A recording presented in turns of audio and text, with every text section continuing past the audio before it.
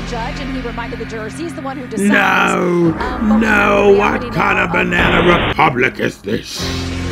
Over a porn star payoff? Uh, Crooked Joe Biden! Ah, You and your radical left George Soros paid for DAs will rue the day you try to destroy the legacy of the greatest president to ever live, Donald Trump. Trump will not stand for this. You and your Department of Injustice will not get away with this.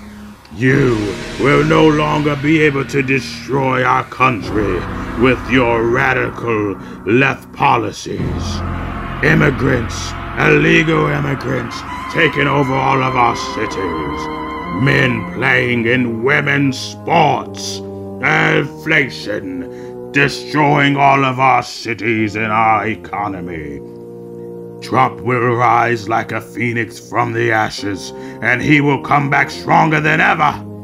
MAGA forever!